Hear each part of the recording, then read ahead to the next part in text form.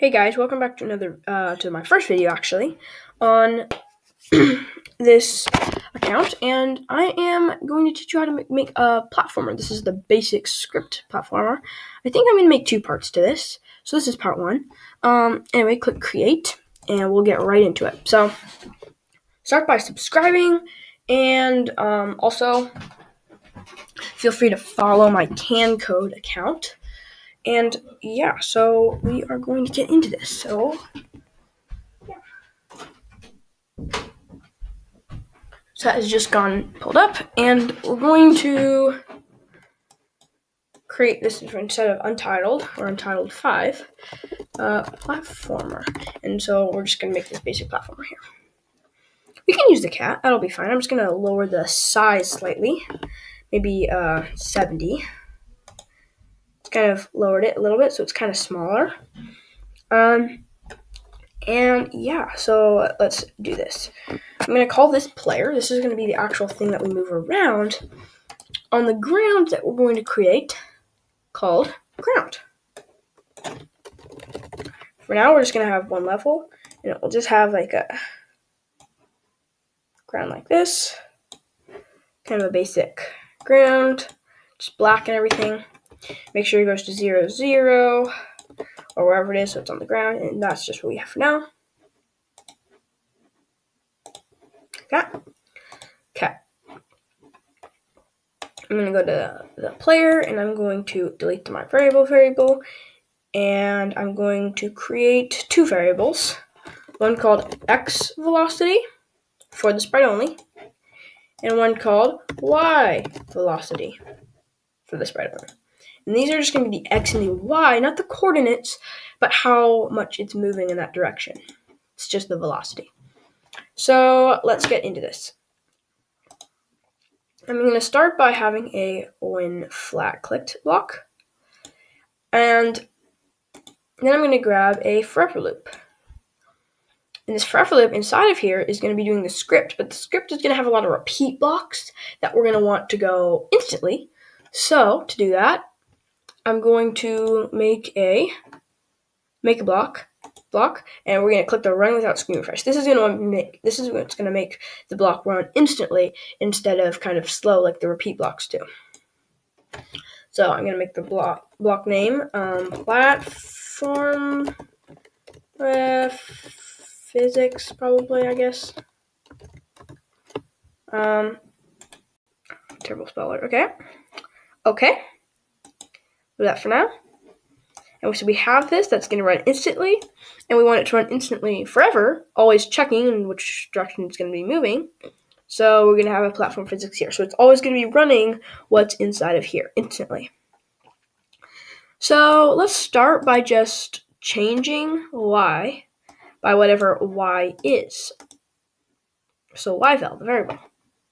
So in whatever direction it's moving, it's going to actually move that direction to start with.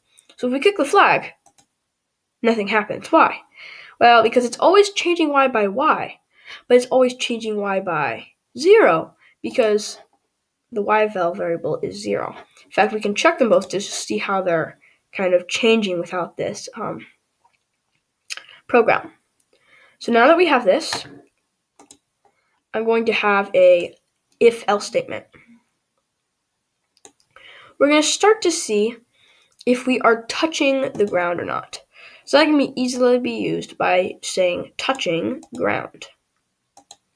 If the ground is all one color, like it is here, and you want to have on the ground like different color uh, spikes and stuff like that, you can actually say if touching color black or whatever color your color is. And this will do the exact same thing, uh, but it will sense any color that's black and um, if you have a different color ground, it won't know that's ground, um, even if it's on the ground sprite. So if you want it to do all the ground sprite, you can just do this touching ground block. And I think I'll do that for now. But you can do either one. Now this in this touching ground, I'm going to do a couple of things. And one of which is to repeat. I'm going to repeat something. Well, I'm going to repeat the absolute value which is positive number of what it is. So if like I had a positive seven, the absolute value of positive seven, or like I'll just check that. Uh, if it's absolute value of positive seven, it would be seven, be the same. But the um, absolute value of minus 7 is just a positive value of minus 7, which is also 7. So no, it doesn't matter what number it is, it just basically takes off the minus, and if there is no minus, it just leaves the minus off, and it will just make it positive no matter what. So it doesn't matter, we're just going to leave that empty. And I'm going to grab the positive value of whatever y is. So y is 0, so the positive value of 0 is 0, so it's just going to repeat 0 for now. But that's not going to always be the case, because uh, we're going to be changing the um, y-val during the program. We haven't done it yet, but we will. In this repeat block, we're going to have a if touching ground. So we're still making sure, and you can have this touching ground or you can use this black block. Yeah, so we're still making sure that we are, um, we're going to move up out of the ground or down out of the top of the ground, uh, kind of depending on where we are. And um, we're going to do that, and we're going to only do it if we're touching the ground. So if we're touching the ground, we're going to change y by, and we're going to change y by a number. And what we want to do is we want to say if the um, if my y val is positive, we want it to move negative one. If it's negative, we want it to move positive one. Just one. It doesn't matter how far high it is, basically. So that makes any sense, which it probably doesn't, but it will in a second, hopefully. What I'm going to do is I'm going to grab a absolute value of y. So what if I just said, I'm just going to set the y val to let's just say uh, 15. Set to 15 and I will click this button to see what the actual value is. Well, it's 15. Now, what if I made this minus 15? Well, and I'll actually have to click it to make it negative 15. You can see right here. Well, it's still 15. Now, what if we divided that by itself? Well, it's going to equal 1 anyway. It's going to, no matter what, if we just did uh, this and it doesn't matter what this number is, it's always going to equal 1. Because these numbers are always going to be the same. But what if I just did it divided by y? Well, this number is going to be negative 1. Because we've had a positive 15 divided by a negative 15, which is the same number, so it makes it 1. But since one of them is negative and one of them is positive, it was is going to equal a negative, a negative number. Now, it doesn't matter what this number is. If we did 22, for instance, it's going to be a positive number. It's going to equal negative 1. Oh, no, sorry, I did not click this. So see, the y val is still minus 15. I'm going to click this to make it now 22, and now it's going to be 1. So if I did minus 1, well, it's going to be minus 1. But if I did minus 100, see, we changed it, it is still minus 1. It doesn't matter if it's 2, which is above, it's going to equal 1. And that's great, but that's the opposite of what we wanted. We want, if it's positive, we want it to go negative, and if it's negative, we want it to go positive. Well, that's pretty easy to just do by timesing that number by minus 1, which is doing the exact opposite of what it is before. So it's just going to equal the opposite. Now we can put that in here, and it will change y by that. So that's good. All right, great. So we've gotten that already. I'm going to set the y val to zero again. Just make sure it's at zero. And since at the beginning of the program we want these to be at zero, I'm actually just going to set these to zero at the beginning, x val and y val. And also, when we start the program, we're going to start wherever we are on the map. So I'm going to make it go to a specific place before it uh, when, when I start the program. So I'm going to make it go about right there. Like that. Now I'm going to go there every time I start the program. And when I click this, I don't do anything. Why don't I do anything? Well, I've said if I'm touching the ground, I'm going to do that. That was in here. But I'm not touching the ground right now. So I'm just else I'm not doing anything. So what I'm going to do is I'm going to say if I'm not touching the ground, then I want to change the value in which we're going to start moving down to the ground by minus 1. Like that. Now if I click the flag, I fall. And I just want to hit the ground. I start, if I drag my cat over here, I would fall the same. Okay. So the Y val is still this. Now, why is that? It's just glitching to the ground and just falls down. And look at this number. It's minus 2,500. So if I move over here, it's always changing, and I just land like that. Well, if I'm touching the ground, we don't want it to still keep falling. I want to just set the Y val to zero. Like that. In fact, I can even put that first. I don't know if I can or not. I'm just going to do that. No, yes, I definitely have to put it down here because I'm repeating the value up here. So, now I have that. I Put them up here. Still doing that.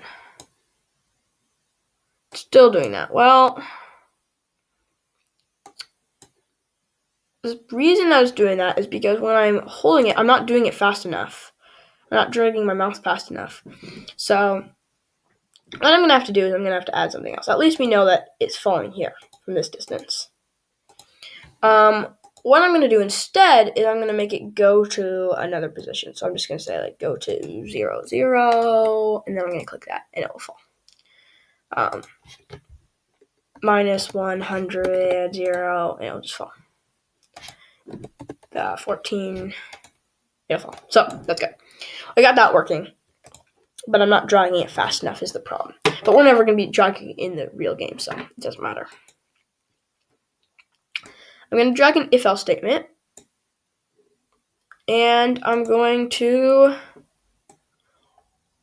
grab a touching, or no, not touching block, a key block, key up arrow pressed.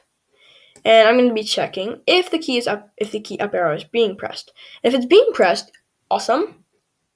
I'm going to move up. If it's not, then I'm going to set the Y val to 0. So, to move up, we're just going to set the Y val to a number higher than itself, like 12, uh, 10. Uh, 10. There we go. And now if I start this, and I cannot move around, but if I press the up arrow, I jump. I actually really like that. It's working pretty well. Nice. And you can change this number um, to like 15, for instance. And now we jump higher than we did before. So that's really cool, but I'm afraid, oh, I just deleted the whole block. So just click undo. And I'm going to make it 10. Now that's pretty great. We've gotten a lot so far. It's doing pretty good with our just jumping scripts and we can move it around and it's falling and it's jumping. But that's pretty bad right now. I actually don't really like how it's just doing that right now. I want it to move around and I want there to be different levels and I want different uh, icons and different types of things like wall jumping and a lot of other stuff. But unfortunately, we did not get to that in time. So in the next video, I will do the x position uh, so you can move left and right. And I might even be able to get to changing levels. And if not, then in the next video I will do that, changing levels and having different levels in there. And in the last episode, I'll do some special effects, like um, something behind it, or something behind the cat, kind of, or um, wall jumping and that kind of stuff. So, awesome. Um, done a lot already. So, just kind of doing this is some basic uh, Y velocity and Y script. So, yeah, thank you for watching, and please remember to subscribe, follow CanCode, and uh, yeah, click the like button, and so you will be able to see my new video. see, see you later.